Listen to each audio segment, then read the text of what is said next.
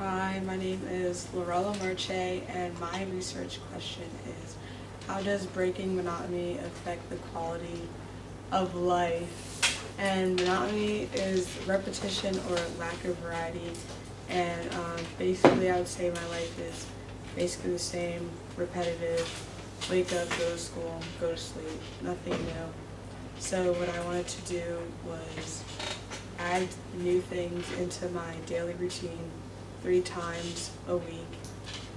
And um, I would be doing this for one whole year just to see how it would affect my life and my mood.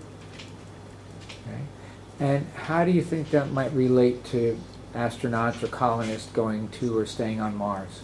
Well, they um, up in space, you're also doing the same things, probably reporting back to NASA repetitively, and it get it can get boring and like it starts to affect your mood and things like that. So I could relate that to um,